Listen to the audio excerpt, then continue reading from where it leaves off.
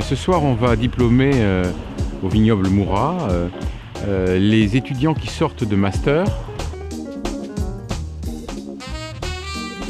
J'ai fait un master relations internationales avec l'option euh, commerce international. Master de droit des affaires. J'ai fait ma licence de droit, euh, ensuite j'ai fait un master en droit des affaires. qui sont en train de sortir euh, d'un temps important de leur euh, euh, vie, euh, de leur vie pour rentrer euh, dans le monde professionnel.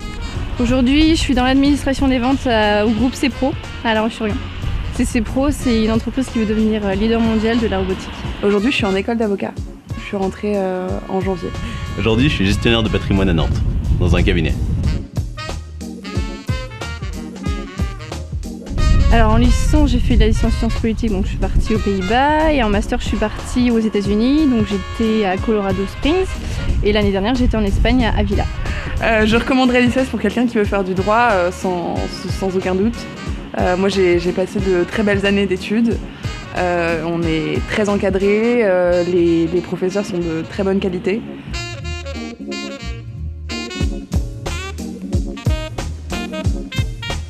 Euh, m'a marqué parce que euh, a, cette force d'encadrer euh, les étudiants. C'est-à-dire qu'on n'est pas du tout dans une euh, faculté ou une université où on est un numéro, un pion parmi d'autres. L'ICES, euh, on a le sentiment d'être encadré, d'être même aimé. Et vraiment, c'est une chose qui n'est pas simplement une parole, c'est une réalité que moi j'ai ressentie comme étudiant et je pense que on est très nombreux à, avoir ressenti cette réalité. Ce qui me frappe à l'ICES, c'est l'ouverture d'esprit. C'est l'ouverture d'esprit, c'est- c'est la tolérance au niveau des idées. Euh, on peut s'exprimer euh, totalement comme on l'entend, euh, avoir des, des débats, des discussions. Et ça, il faut bien dire que en histoire dans l'université publique, ça devient très très difficile. C'est ça aussi la force de l'ICES, c'est que finalement on peut cultiver à l'ICES ces qualités-là qu'on ne peut pas forcément cultiver dans une autre université.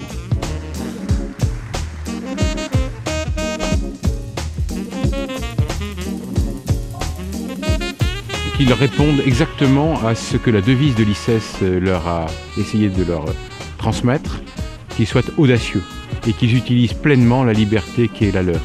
Une liberté consciente, contrôlée, réfléchie euh, et qui leur permette de, travailler dans les métiers qu'ils ont choisis avec de l'allant et en même temps du sérieux.